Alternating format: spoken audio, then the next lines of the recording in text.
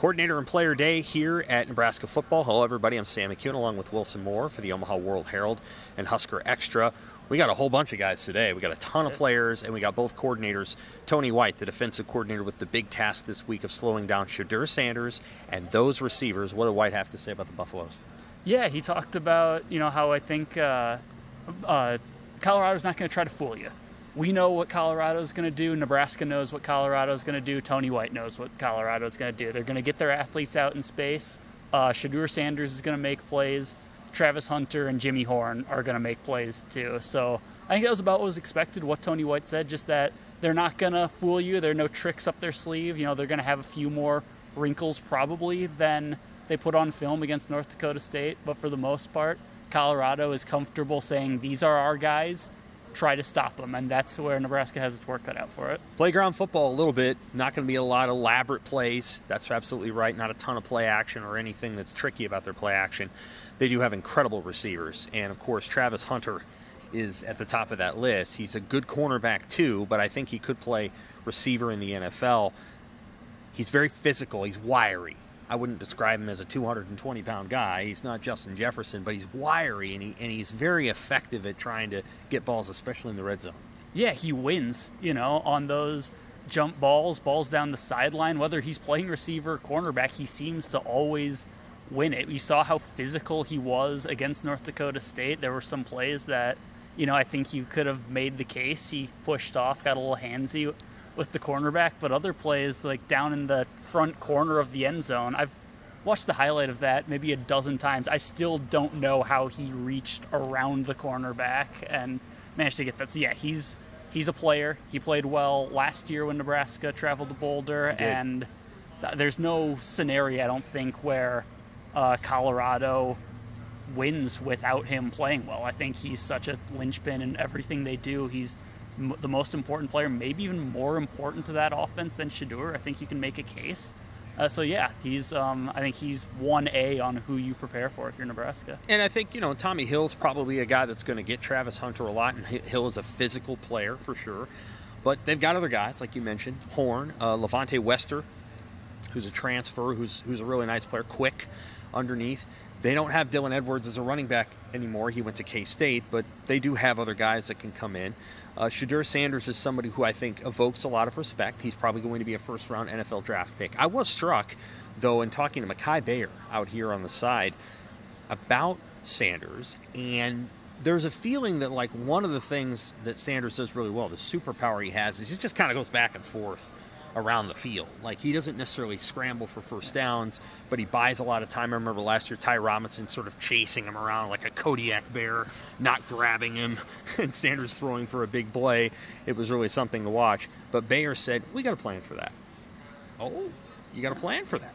They sacked him nine times last year. They've had a lot of pressure, but Sanders also beat them. Um, from the flip side of the coin, what do you think of what Dylan Raiola had to say today? He he is a unique guy. He's got a lot of confidence for a freshman. Came in there with the headband. He just gotten done with the workout. He just seems like he's in control for 19 years old. Absolutely, yeah. I don't think you can be in the position he's gotten himself to without the level of confidence that's maybe uncommon for a 19 year old. There aren't a whole lot of true freshmen starting for Power Five, Power Four uh, programs. So yeah, he he came in. I think you know we're. It's interesting because we're seeing the progress he's going through, and that's not just on the field we're seeing him deal with everything for the first time, and it's a it makes for a fascinating subplot throughout the season. This is going to be his first rivalry game. This is his first game where all eyes are on him. You know, national TV, Friday night, one of the you know the marquee game of that night, that time slot. So we're seeing how he handles everything in real time. It makes for an interesting kind of subplot throughout the season. It certainly will. Colt McCoy in town to be the analyst for NBC on Saturday night. That should be pretty darn interesting.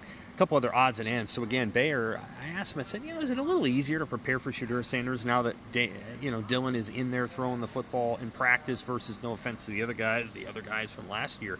And Gbayor says, don't compare Dylan Raiola to Shedeur Sanders. Don't do that. Dylan's a different man. And then he goes on in a, another interview that I that I had with him. He's like, you know, Dylan is like Patrick Mahomes. So the confidence that this defense has in Raiola is just unique. and they believe in him. Um, now, whether or not he's able to deliver the way that he did against UTEP, I suppose we'll see. Good conversation out here with Carter Nelson, too. He's a bright guy. Uh, Ainsworth product who played his first game, three catches for 29 yards. He noted that uh, he's still learning how to do all of this. He's only been really in training camp for a month and a half. He wasn't here for spring camp. So um, I think that's a guy that could take a big jump in week two. Anything else jump out at you about either Marcus Satterfield or any of the coordinators or any of the players who we spoke to? Yeah, I think just, you know, how measured everyone was, and that was not a surprise. I think teams tend to take after their coach, and that's the way Matt Rhule wants things. You know, you knew coming in no one was going to say, "Oh yeah, you know, it's Colorado. We hate those guys." There's a, you knew that wasn't going to happen. You knew everyone was going to be pretty measured. I think especially just these days people are pretty careful with their words. So nothing real outlandish, which is always fun, but I don't think none of that, which was pretty expected. Matt Rhule on Monday. I got love in my heart. That was that was a good one. I got love for you. I got love in my heart for you. Deion talked today. I, I, think Deion said mostly positive things about Nebraska too. By the way, he didn't throw anything on the bulletin board, but if he had, nobody would have been all that surprised, nor would it matter that much. One thing, one more thing. I, I asked Dylan because he wasn't at the game last year. He was a, he was in high school. Can you sense from your teammates how that game made them feel and the internal motivation they might have? And he took it to mean a question about Rhule. Yeah. And he goes, "Yeah, I can tell it means a little bit more to him, but." You know that he's he's our coach and he's comporting himself and so on and so forth. But I found that interesting that he said that about Rhule. Um, I think this game means an awful lot internally inside the program. This is an important, important game. Nebraska has a team that can beat Colorado. It has a quarterback. It has an offense. And we'll see what happens. Okay, for Wilson Moore, I'm Sam McKewon with the Omaha World Herald and Husker Extra. Thanks, Nebraska fans.